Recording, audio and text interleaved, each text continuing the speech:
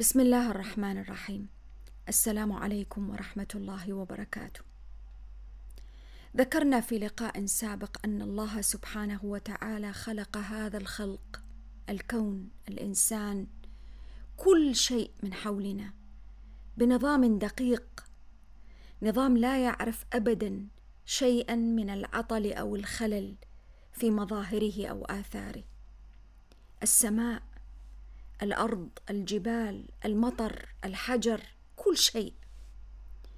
ولكن الله سبحانه وتعالى هذه المخلوقات التي خلق في الكون لم يعطها القدرة على الاختيار أن تفسد أو تصلح. فهي جبلت على أن تكون وفق ذلك النظام العجيب الدقيق وكانت من نتائج ذلك النظام. أن يسير الكون بدقة متناهية.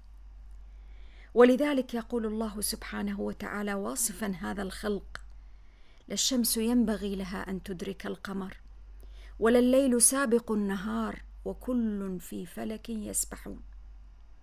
ولكن الفارق الذي جعله الله سبحانه في الإنسان أننا كبشر مخلوقين لسنا كالنجوم ولا كالكواكب ولا كالشمس ولا كالقمر. تلك مخلوقات أجبرها الله على الانتظام والسير وفق ذلك النظام الذي خلقه الله عز وجل.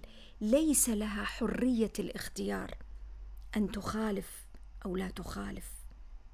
أما الإنسان فهو ذلك المخلوق الذي كرمه الله عز وجل. أعطاه العقل أعطاه حرية الاختيار. أعطاه المنهج وأوضح له في المنهج عواقب الفساد والخروج عن النظام وعواقب الصلاح والإصلاح. ولذلك ليس من العجيب ابدا أن يأتي ذكر الفساد في أكثر من خمسين موضعا في كتاب الله. اشتركت في التحذير من الفساد وأشكال الفساد والمفسدين والتعقيب على سلوكيات الفساد والانحراف. الإنسان هو ذلك المخلوق الذي أعطي حرية الاختيار. وأوضح الله له الطريق. وأخبره في أكثر من موضع. وأن لو استقاموا على الطريقة لأسقيناهم ماء غدقا لو استقام لو سار الإنسان في حياته وفق المنهج لوصل إلى الكمالات لحصل السعادة في الدنيا وفي الآخرة في كل شؤون حياته. ولذلك الإنسان المؤمن الذي يسير وفق منهج الله يقول عنه القرآن لا خوف عليهم ولا هم يحزنون ليس في الآخرة. الكلام عن الدنيا اولا. أما الإنسان إذا سار وفق منظومة الفساد خرج عن منهج الله عز وجل في كل شيء. بدأ يحصد ثمار ذلك الفساد والتخريب في حياته حتى في الأمور الطبيعية من حولنا. الكون لو ترك على ما خلقه الله عز وجل من صلاح ونظام لو ترك بدون تدخل الإنسان وتخريبه بالتلويث أو بما شابه من موارد الموارد الطبيعية من ماء من هواء ما شابه لما حصل ما يحصل اليوم من مؤشرات الفساد في الكون لما حصلت ظواهر الاحتباس الحراري والتلوث والفيضانات و و وعشرات الكوارث الطبيعية التي تحدث وهي في تنبؤات العلماء في ازدياد وليست في تباطؤ ولا في تراجع نظرا لاستمرار الإنسان في عملية الإفساد إفساد للهواء للمياه للأرض للتراب.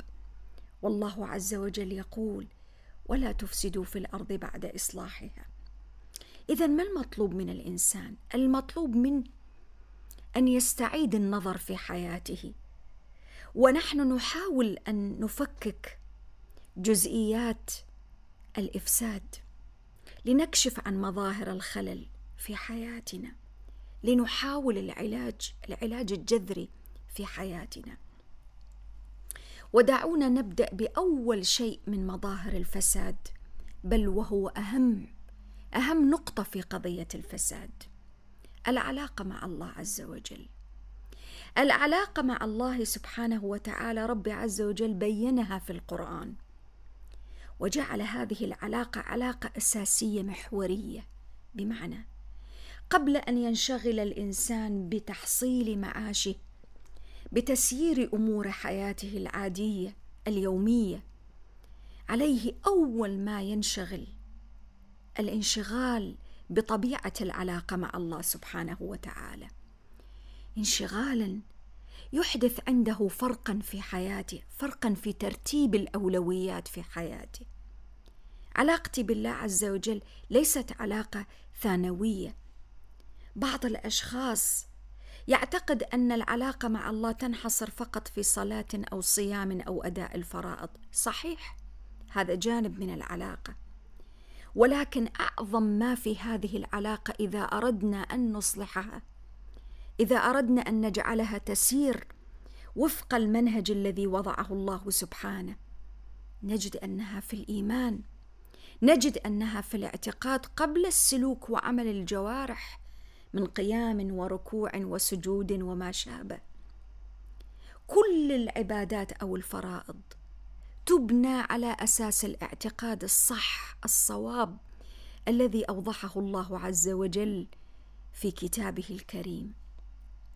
بمعنى التوحيد علاقتي مع الله سبحانه وتعالى لا ينبغي أن أنشغل عنها بأمور معاشي بالتفكير بما ينبغي أن أقوم به اليوم جدول الاعمال اليومي أعظم وأول نقطة ينبغي أن تحتل تفكيري ووجداني وتشغل جوارحي هي علاقة التوحيد مع الله سبحانه وتعالى.